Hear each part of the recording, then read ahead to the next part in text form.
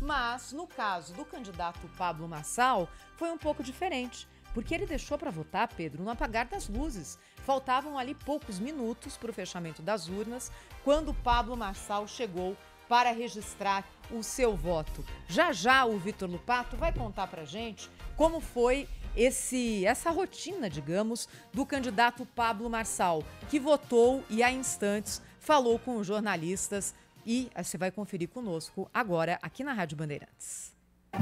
Eu decidi vir nesses últimos minutos para falar que os últimos vão ser os primeiros. Candidato, sobre o laudo, que a perícia disse que é falso. O que você tem a dizer sobre o laudo? A perícia tá de parabéns trabalhar no final de semana, né? Sobre o que o Datena fez comigo, a perícia até hoje não achou tempo para trabalhar. A gente em primeiro, pô. Agora vamos ver.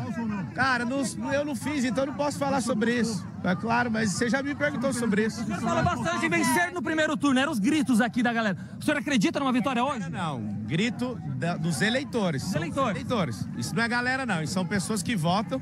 E ele, de fato, o eleitor acredita O nisso. senhor acredita no primeiro turno? Eu acredito no que o povo quer. E o que o povo quer vai ser falado daqui a alguns minutos. Meu Deus, eu, eu não escolho, não. Eu sou uma oferta aqui, cara. Olha, presta atenção. Eu, Pablo Marçal, sou um candidato que dá conta de resolver tudo que eu falei que ia resolver. Se o povo cair em propaganda enganosa, é um problema deles. Né? Gastaram 50 milhões de reais de dinheiro público para me atacar. E aí, o que, que é o detalhe? Você vê que esse povo não tem um apoio popular.